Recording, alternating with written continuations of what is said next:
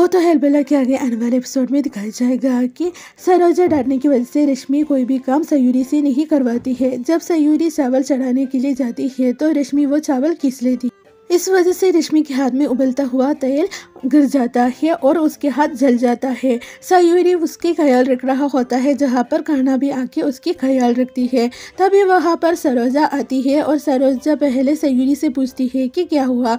सयूरी बताती है कि रश्मि के हाथ में तेल गिर गया है, जिसके वजह से उसके हाथ जल गया सरोजा रश्मि को डांटते हुए कहती है कि रसोई के बाहर ही तुम्हारे बचपना को छोड़ के आओ, रसोई के अंदर उसे मत लेके आओ। ये कह के रश्मि को वो डरती है।